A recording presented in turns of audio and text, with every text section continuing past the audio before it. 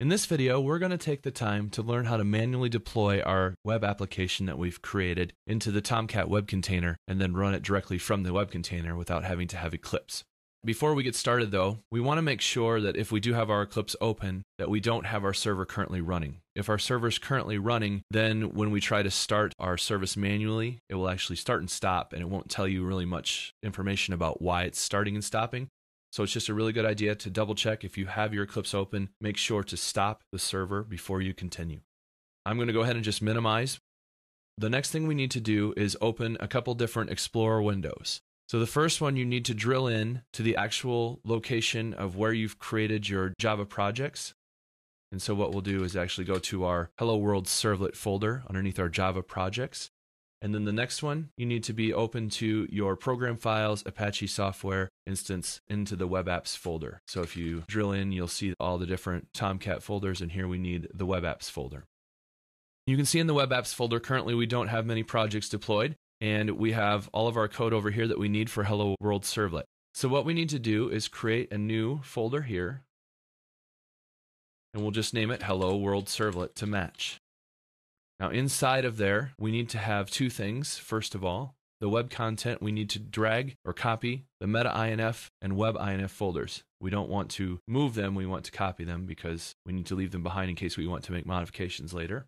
And the other thing we need is inside of the web INF, we need to make a copy of our classes folder. So we'll copy that one over here as well. And so that's inside of our build folder. And we don't need the source files and we don't need the settings and things like that. So all we need is the web INF, the meta INF, which has the manifest, and of course our web XML, which does all of our deployment descriptor things, and our classes files, which contains all of our classes that we've built. So they need to be our most recent compiled version. Once that's up and running, then what we need to do is go ahead and start our Apache Tomcat server. So we manage our computer. We're going to go into our services and there's our Tomcat server container. So let's go ahead and start that. And it does start. The next thing we do is just verify that our service is working as expected. So we can go to the Hello World Start Servlet, and that will take us where we're supposed to go. We can try Start Servlet 2, that also works. And we can try our hello world.do, and that also works. So now all of our pages are working as expected, and we've successfully deployed to the container. Now, if we want to make changes to the container, of course, we need to stop the service and start it over. But what I want to show you is that we have one thing that could potentially be a problem.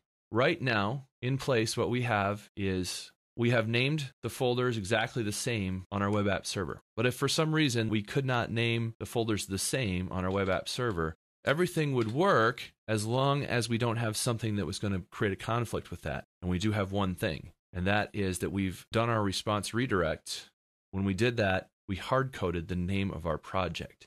So what's going to happen now is most of my stuff should work here. I need this to be HWS, and then I'll run start servlet, and that works. And then I'll go to my hidden servlets, and this is going to be hello world do, and that works.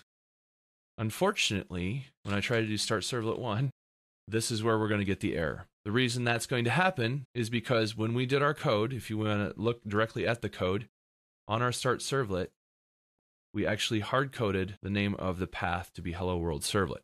Now there's ways to try to get the path from the actual servlet request context. And You can actually try to get the context and then try to get the path and try to build variables to go ahead and change that. But what happens is when you start running an Eclipse, it's not going to run and that creates problems there.